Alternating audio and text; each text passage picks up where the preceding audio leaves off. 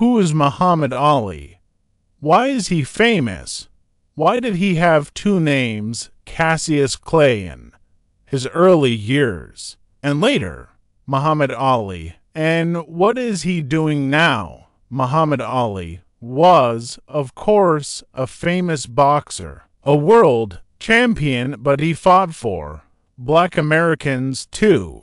He stopped boxing in 1981 because he was sick, but today he is fighting for peace in the world. The story starts with a boy's new red and white bike.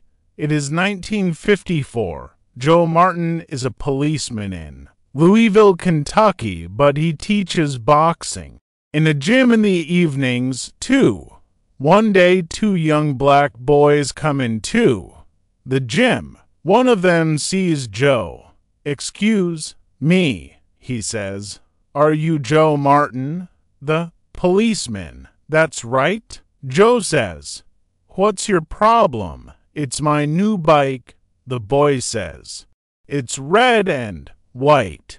It was in front of this building, and now it's not there. The young boy is unhappy and very angry. I'm going to find the boy with my bike. Then I'm going to hup him, he says again, and again Joe Martin smiles. The boy is about 12 years old. He is tall with long legs and he is thin. Can you box? Joe asks. No. I can't box, the boy says, but I want to hup that boy. Joe smiles again. Come here to the gym first. Maybe I can teach you.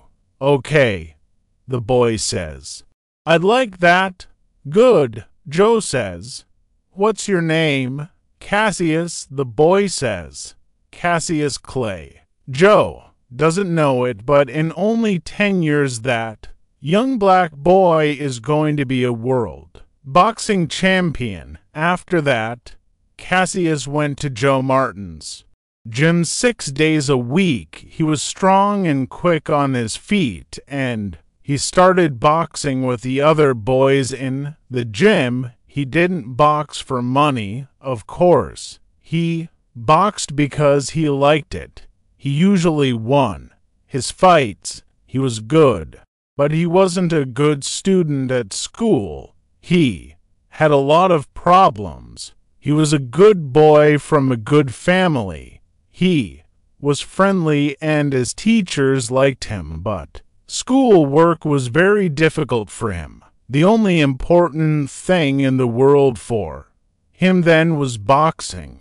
In six years, he had 101 fights and he won 100 of them. Then in 1960, he went to Rome and boxed. For the United States, in 1960, Cassius was only 18 years old. He was in Rome for the Olympic Games.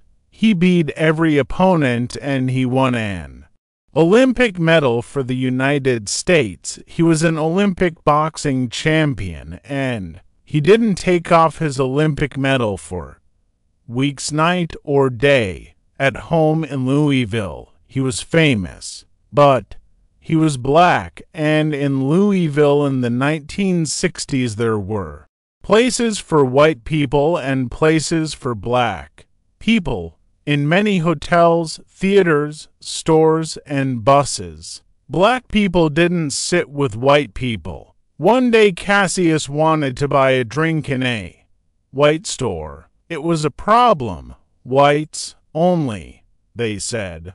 But I'm the Olympic boxing champion. I'm famous, Cassius said. Whites only, they answered. Go away. Cassius was very unhappy about that.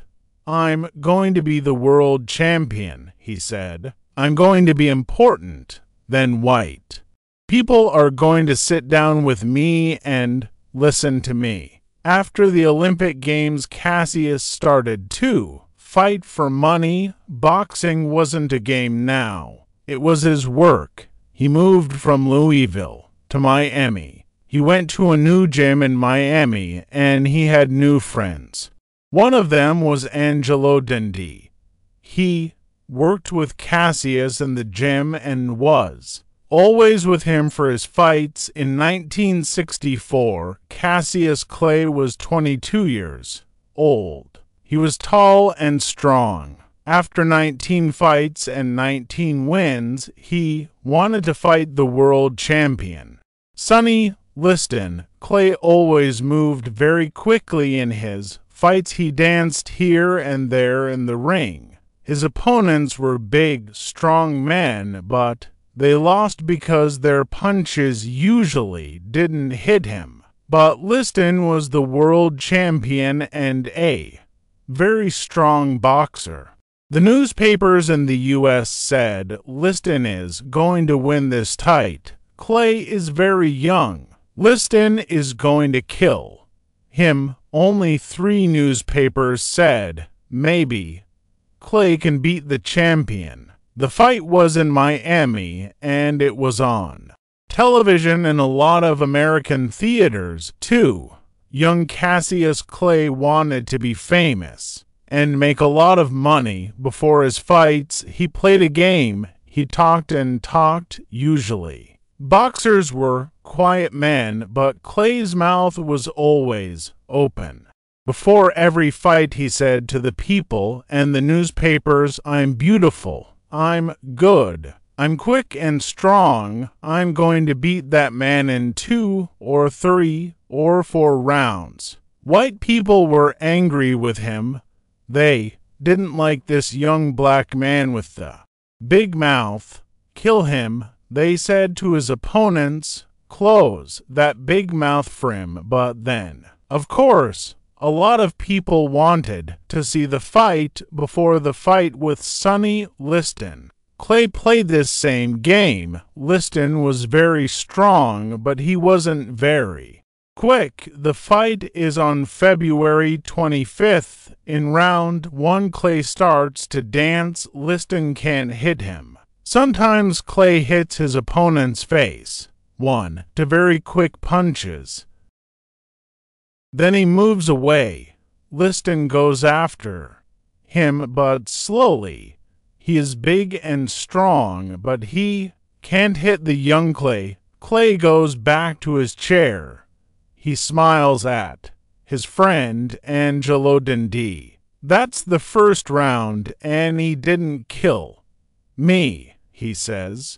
I can win this. Liston is on his feet. He doesn't want to sit down. He wants to start round two.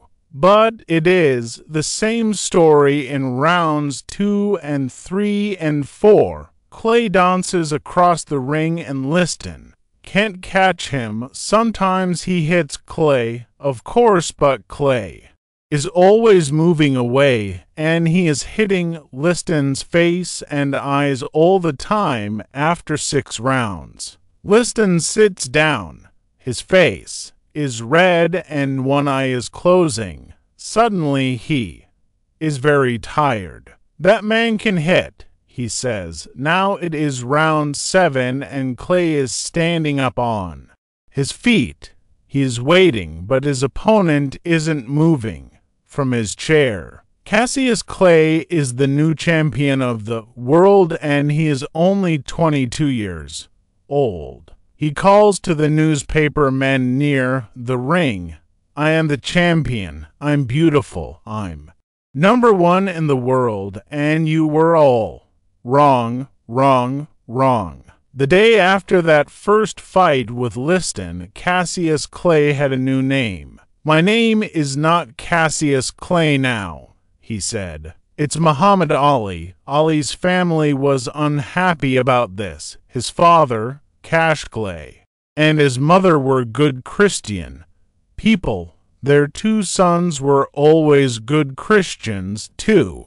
They loved their mother and father and had a happy home. What's wrong with the name Clay his? Father asked. It's a good name. It's our name. Clay is a white man's name, Ali said.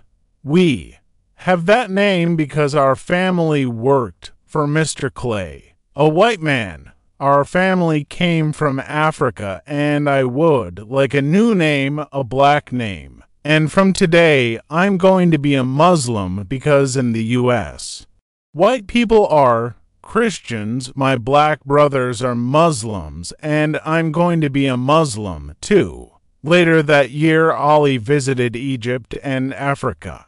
He taught two Muslims there. There are Muslims of all colors in the world, he said. I know that now. Our problem in the U.S. is only with the bad white people there, but he liked his new Muslim name and he stayed a Muslim. Fifteen months later, he and Sonny Liston fought again. This time, Liston was on his face on the floor in the first round. Muhammad Ali was the world boxing champion in 1967. The U.S. Army was in Vietnam. Thousands of young Americans, white and black, went into the U.S. Army and fought the Viet Cong. The U.S. government called Muhammad Ali and said, Young country, wants you in the army, you have to go to Vietnam. Ali answered, I'm a Muslim and Muslims want peace. They don't fight and kill people who are the Viet Cong. They don't want to kill me, and I don't want to kill them. I'm not going to go into the army. This was a big problem the U.S. government said, Go into the army or go to jail. The American people were angry with Ali, and they really didn't like him. You can't box in the U.S., you can't be world champion, the government said, and you can't go and box in other countries. But Ali didn't go into the army. I'm a boxer, he said. I fight people because that's my job, but I don't kill people. Ali didn't box for two years. He talked to students in schools and got a little money. He talked about peace in Vietnam. The fighting in Vietnam is wrong, he always said. The government didn't send him to jail, but he didn't have much money. Then in 1970, the U.S. government said, You can box again, but there was a new world champion now, Joe Frazier. Joe Frazier was a good boxer.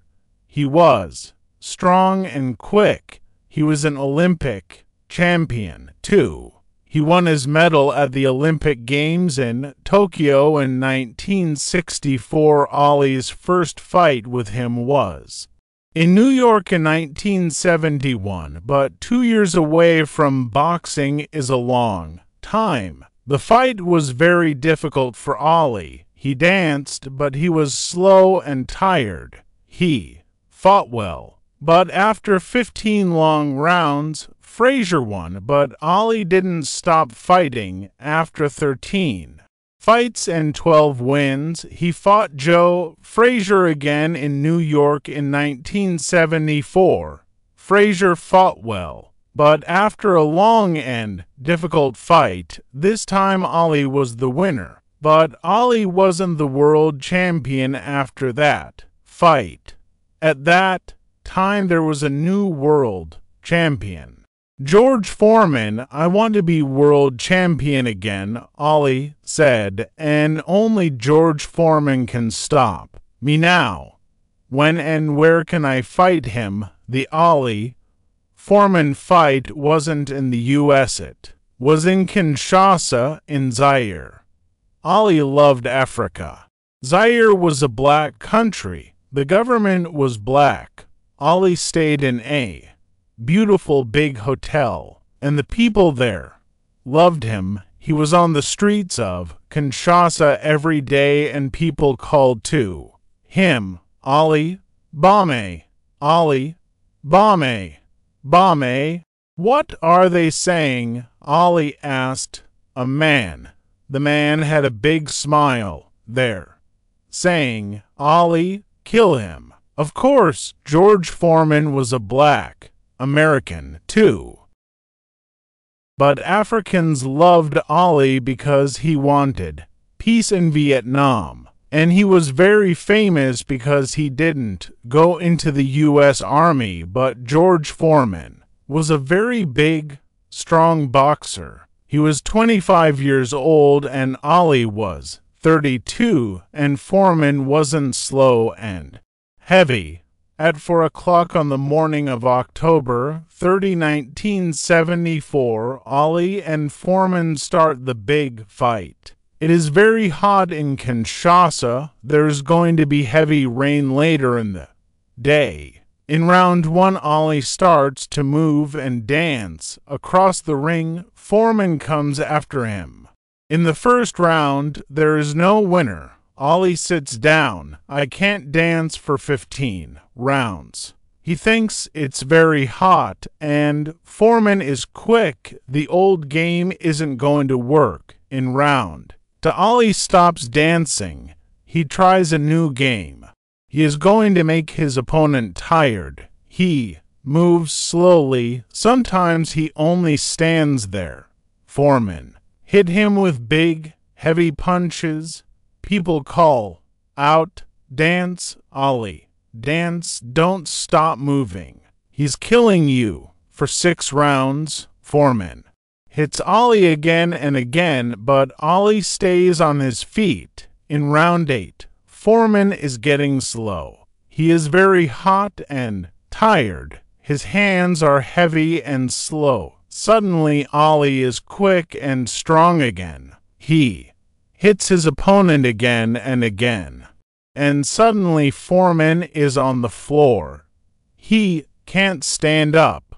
Ali is dancing. He is the world champion again. He's killing you. For six rounds, Foreman hits Ali again and again. In 1978, Ali lost a fight with Leon Spinks in, Las Vegas, but then, seven months later, he beat him. Ali was the new world champion three times in 14 years. In 1980, Ali lost a fight with Larry Holmes, and in 1981 he lost again to Trevor Berbick. He was slow and tired. He wasn't well, and and he went to a doctor.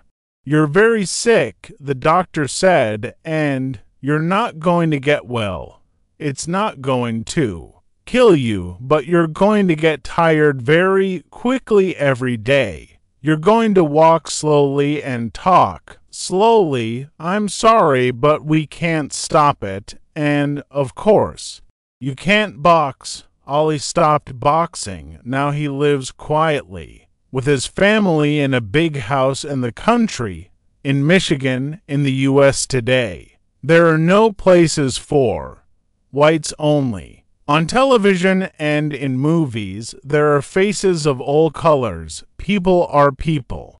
Ali is happy because he was one of the first famous black Americans. And now Ali is working for peace in the world. He makes money with his famous name. He meets and talks with governments and other famous people. He gets medals these days, too. He is a worker for peace in the world, peace for all people, blacks and whites, Christians and Muslims in the U.S. they now say, Ali was right. We were wrong about Vietnam. He fought for his people and for peace. He is our American Nelson Mandela. Ali gives a lot of money to the children of the world. He loves children. He always loved children. There are nine children in his family. He moves very slowly now he sits at home. He gets tired very quickly. He likes watching his old fights on television. He is a good Muslim and a good man. People visit him and talk with him. Young Muhammad Ali talked and worked for black Americans. Then he was a famous boxing champion, but today they call him a people's champion. The end. Thank you for watching. Like, share and subscribe for more videos.